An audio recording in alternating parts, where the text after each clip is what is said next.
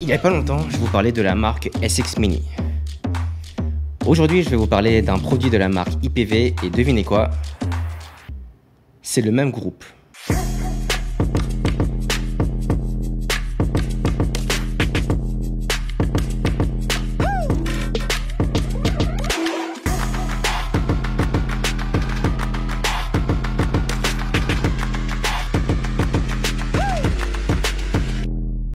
Salut à tous, c'est bon retour et aujourd'hui nous allons parler du V200 de chez IPV.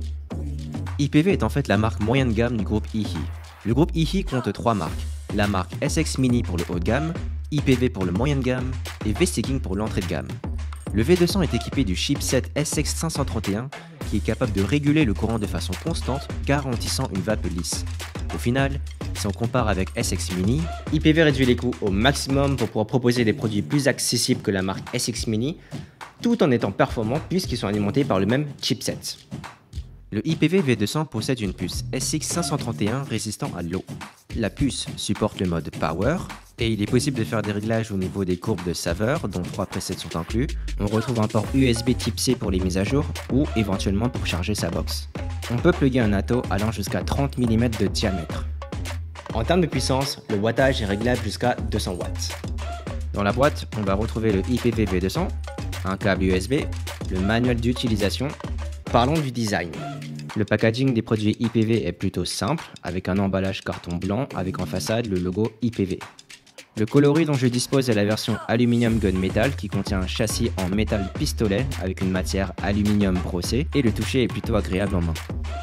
Les différents coloris pour le V200 sont Blue, Aluminium Black, Aluminium Gunmetal, Black.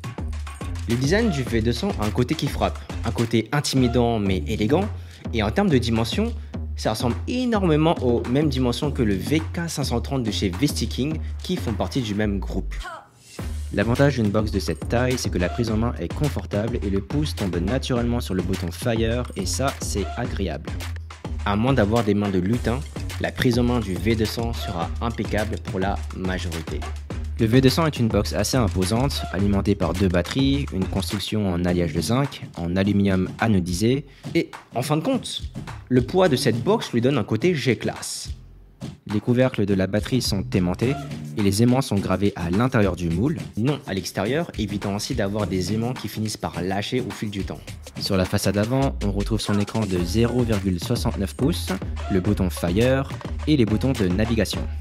Le panneau central est en retrait par rapport aux courbures des côtés de la box et cela permet au bouton de ne pas dépasser et ainsi rester en proportion par rapport aux dimensions de la box. Le bouton Fire est dans l'alignement des boutons de navigation et juste en dessous on retrouve le port USB type C pour la charge.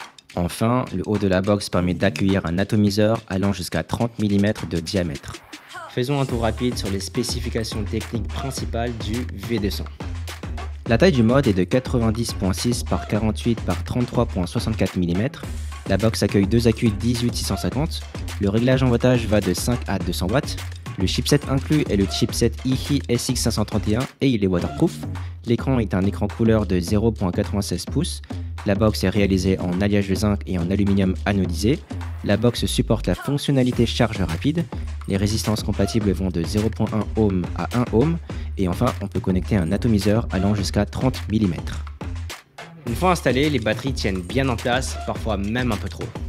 La partie inférieure possède une languette qui va venir aider à la bonne tenue de la batterie dans la box. Évitons les bruits lorsqu'on secoue la box, mais l'inconvénient c'est que ça a tendance à gêner lorsqu'on installe les batteries. Selon le constructeur, les portes sont interchangeables, donc on peut espérer par le futur des designs de portes différentes pour personnaliser sa box, et ça, c'est plutôt cool. Les couvercles de la batterie possèdent un système aimanté.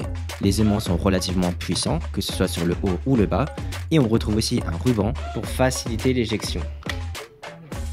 L'écran du V200 est lumineux et le thème propose une esthétique plaisante en passant par un vert printemps et orange sombre. C'est vraiment sympa. En haut à gauche, on va avoir la courbe de saveur choisie. En haut à droite, on va retrouver le niveau de batterie. En dessous, on va avoir le wattage. Et en dessous du wattage, on retrouvera le compteur de TAF. Ou en anglais, le compteur de puff. En dessous du compteur, on trouvera d'abord la tension de la box, suivie par la résistance installée. Et enfin, la durée pendant laquelle vous avez vapoté. Passons à l'utilisation. Pour allumer l'appareil, on appuie 5 fois sur le bouton Fire.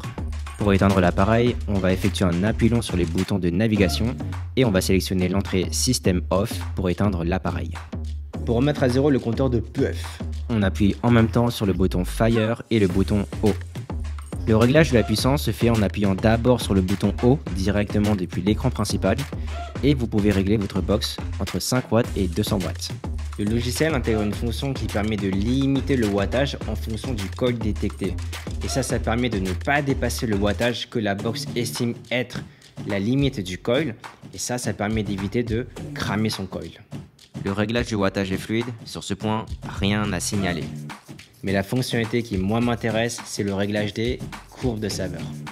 Pour ouvrir l'interface des réglages de courbes de saveur, on va appuyer sur bas à partir de l'interface principale. Les trois premières courbes sont des presets, respectivement soft, normal et strong. Le preset normal va vous fournir une puissance de wattage à 100% constante lorsque vous vapotez, tandis que par exemple, la courbe soft va commencer à 50% pour graduellement augmenter à 150% pour ensuite redescendre au wattage prédéfini. Mais là où c'est intéressant, c'est qu'on peut personnaliser ses propres courbes. Les courbes SXI EQ1, EQ2 et EQ3 sont des courbes programmables. En sélectionnant l'une de ces courbes, vous pouvez les personnaliser avec les boutons haut-bas. Un appui haut va permettre de régler le wattage de base. Un appui bas va vous permettre de régler le pourcentage par rapport au wattage de base qu'on souhaite à chaque segment de la courbe. Si on ne veut pas s'aventurer dans des réglages avancés, les presets normal, soft et strong sont très bons en l'état.